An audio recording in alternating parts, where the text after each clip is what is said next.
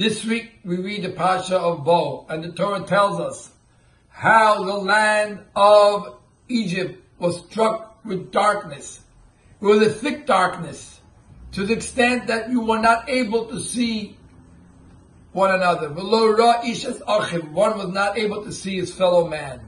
And the commentaries come along and explain that when one man cannot see his fellow man, then it's truly dark when you cannot see your friend, when you don't see your friend's problems, when you don't see his hardships, when you don't see his happy occasions, when you're not there for him to rejoice in happy times or God forbid sad times, then there's true darkness in the world.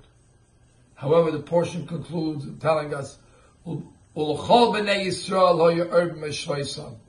that all the Jewish people had light. Because a Jew has to see another Jew, has the Jew has to see, feel the happiness and joy of another Jew. A Jew has to rejoice with his fellow Jew, with a fellow person. We have to see good in one another, and then there will be light for all of us and for the entire world. May God bless us to that very special day when the entire world will be filled with the light of God coming of Mashiach Tzidkenu. Shabbat Shalom.